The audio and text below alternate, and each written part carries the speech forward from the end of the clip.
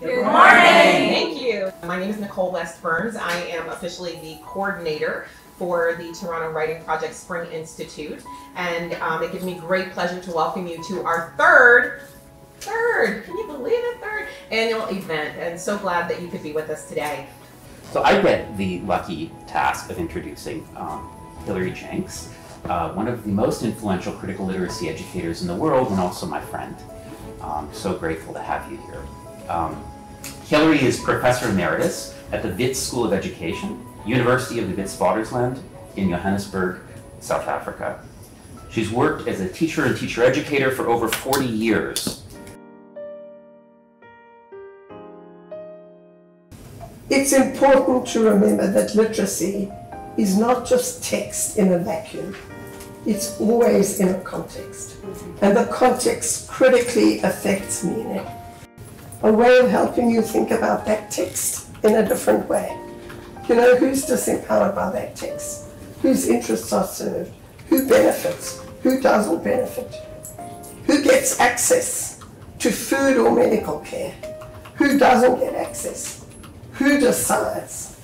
Critical literacy has to move with the way in which representation, constructions, texts, encode power, and you have to think about whose interests are served all the way through. She's so rigorous, I think, in, uh, in her approach uh, to critical literacy and thinking, always thinking about the kind of political implications, especially around power with literacy. And um, for me, I think a lot about uh, the sort of poetry communities that I'm a part of and the ways in which uh, I think many poets seem intuitively to be uh, critical of systems of power, and so that's um, at play in the in the poetry world. So, in what Hilary was saying this morning, we read with the text, but we can also read against it, right? So that's sound was one of the ways we read against this. So let's um, maybe you can read this by yourself first. I'll take you through how we worked with the kids. And the house jumped up in a gorging fire that burned the evening sky red and yellow and black. He strode in a swarm of fireflies. He wanted, above all, like the old joke, to shove. We have to follow now her rhythm mm-hmm. of reading it. Yeah, Sound is, is, like is shifting how time passes, right? So when you're reading on your own, you're following your own rhythm. And then once something's out loud, time That's is starting true. to like temporal stuff starts to happen. Yeah. Right? In a school context, often poetry is seen as kind of like um, on the hier- highest on the hierarchy of ways that language gets used and poets are valorized and especially old dead white poets shakespeare and uh, and that sort um, and there's a real disconnect between that version of poetry and the like active critical poetry happening today the thing that really inspires me with this type of work is just how differently situated educators are when they come in and the ideas they bring.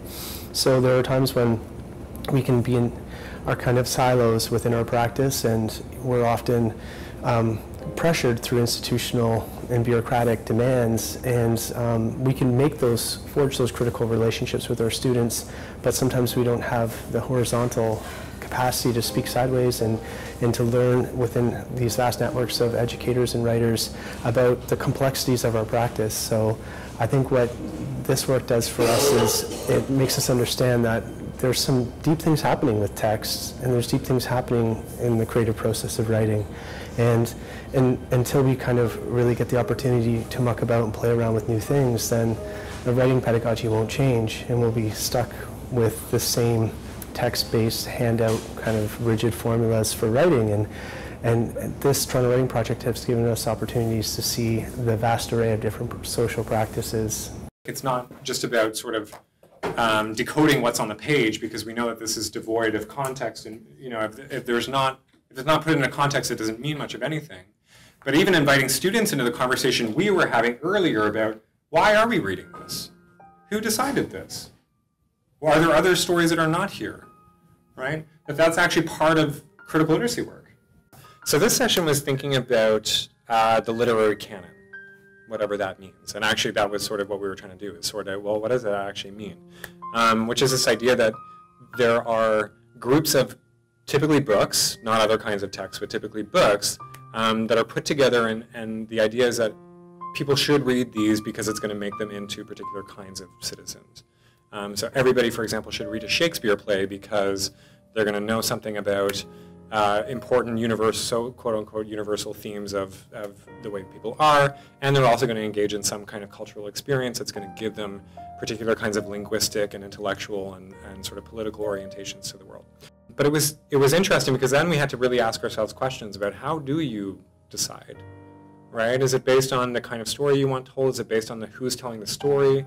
Uh, is it based on wanting to have different kinds of uh, linguistic and uh, social and economic um, political experiences that are in the space and, and in the text that we're talking about? Like How do we complicate this notion of whose li literacies do we teach and whose privilege and power are we questioning? Because sometimes it's not easy when the frame gets turned onto who and how we represent ourselves in the world. It's, I think those are really good questions to have and, and, to, and to encourage. And so that's where the inquiry comes in and that's where the fun happens.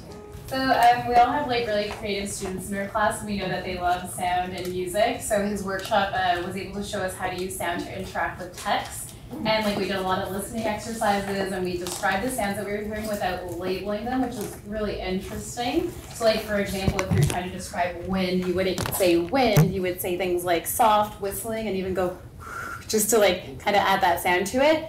And I found that really interesting because it could be like a language building activity, like, you know, really focused on like adjectives and things like that to like help students. Okay, well, those sound like some phenomenal sessions, things for our own learning um, as educators, but also those kinds of things that might really be impactful for our students. So thank you everyone who led the sessions. Thank you to all of the participants. And now what we'll do is move into our afternoon session with our, our featured speaker today, Hilary. Welcome back.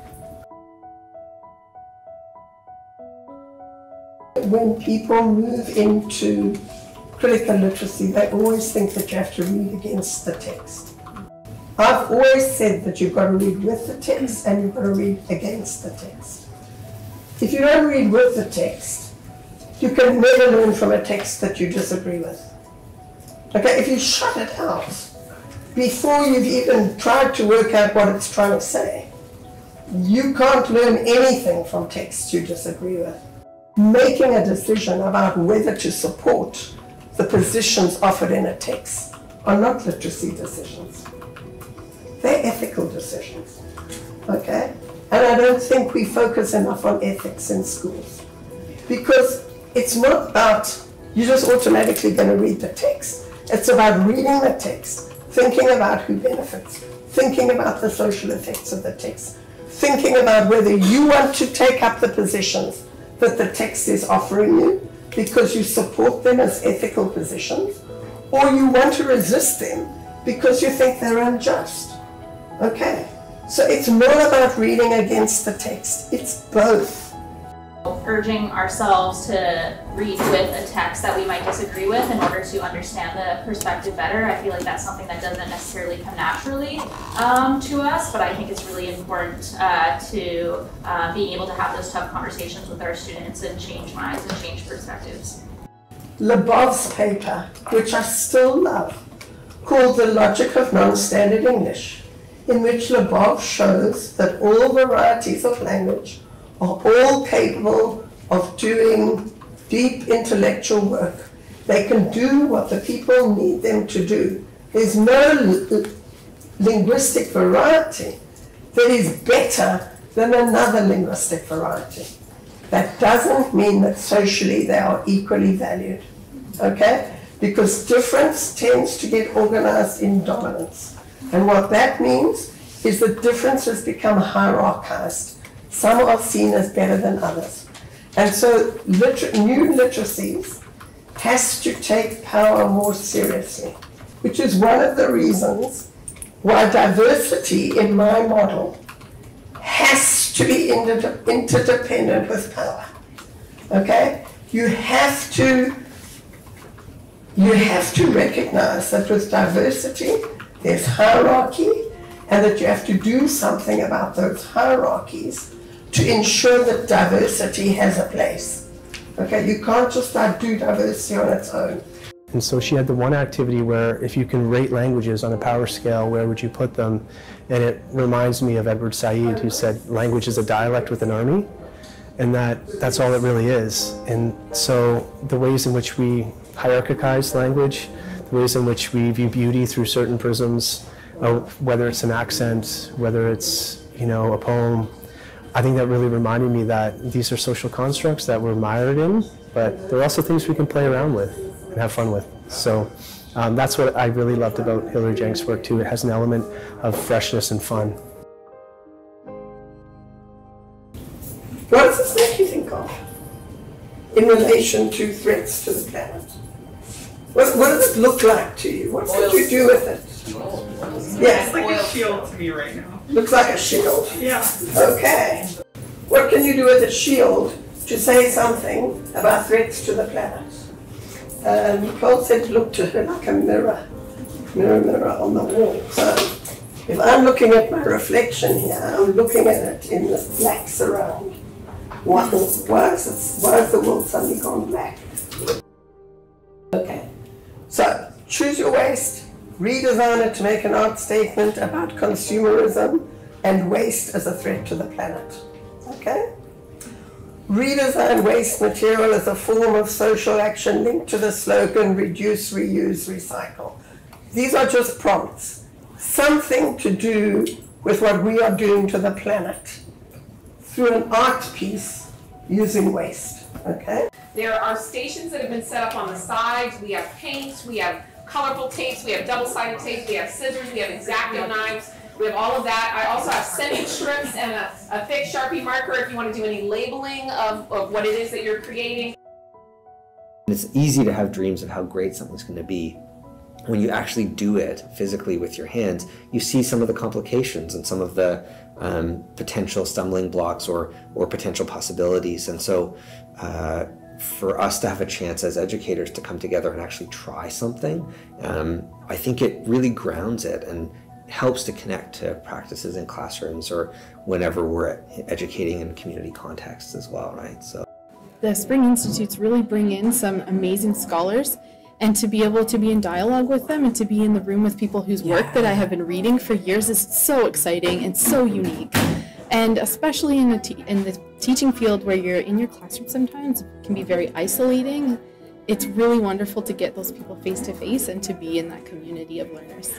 I couldn't actually cut through it. Like it took, like I had like a huge, like a huge pair of scissors, and I was trying to poke holes into it, and I couldn't. And it's so light and it's, it's durable, but I, if I couldn't poke through it with scissors, it's sort of going to what Ben was saying. Like the, the thousands of years that it's going to take for this thing to deconstruct is pretty frightening, and it, it makes me think about like how we need to sort of model for our students in our spaces, like trying to reduce plastics, like just simple things like not having plastic plates and cups in spaces we're in, um, trying to reduce paper use. Like I think that is is something that is very small, but will speak volumes to our students of the values that we have and our, our respect for our space.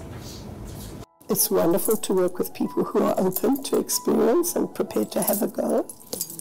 Um, it felt like a safe space for people. Um, people were relaxed. Um, I think they've all got a social justice agenda themselves. Hilary Janks and her piece around critical literacy, I was really struck with how she actually gets students to analyze um, the water they consume and the bottles that, that come in those packages.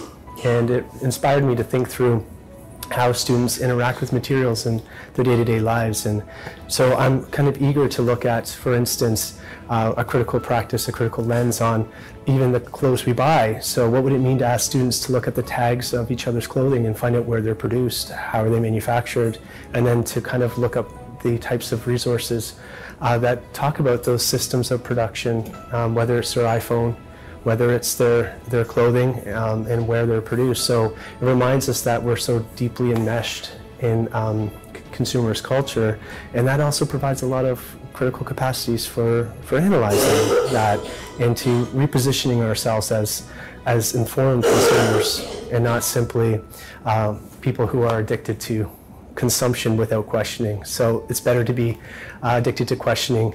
And of course, there's no outside to consuming, but at least we can consume social practices that are, you know, more um, beneficial for society.